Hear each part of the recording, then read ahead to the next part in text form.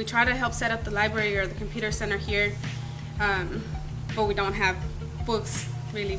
All we have here is what we brought from home. We've done all this without support. Furthermore, around the revenue issue, you've frozen our budget for five months. We have been unable to buy toilet paper. We ain't got no internet at our school. Their internet and library since we don't have one ourselves. 43 plus video cameras, and it's like we don't have, y'all don't have no money for us to build us a library.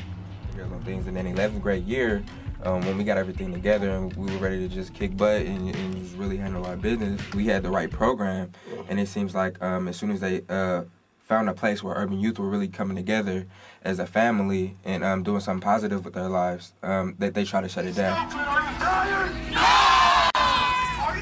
Shut down your school? No! Are you gonna let them shut down your future?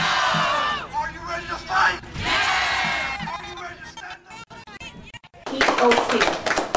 I love the work that they've done with my son. And even if improvement is needed, I've never seen so many kids want to go to school. If this is a war on education, this is a bloodbath here. If you're shutting down schools where kids want to go to school, that's shameful. How you have a system to support them and place them in better schools. You don't have a system. So to say that you will support them You have to is not support the them up truth. There's no system. Crucial decisions like whether or not to close schools, whether or not to build schools, have to be really made by the local community. It shouldn't be made by somebody who's in Sacramento. that we organize a peaceful march.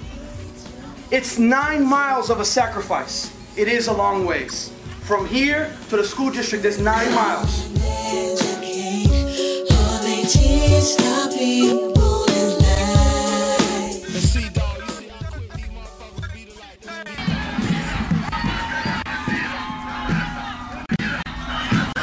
Come here for a decision. You all know that, right? Right? Right. All right, we came here for the hearts, for the spirits of the people. That the people that leverage the decision on us, they're not from our community. They've never taught in our community. Nor do they send their children to school in our community. We grew roots. Roots is stronger the more it grows. The more it grows, the more it branches out. The more it branches out, the more seeds we get.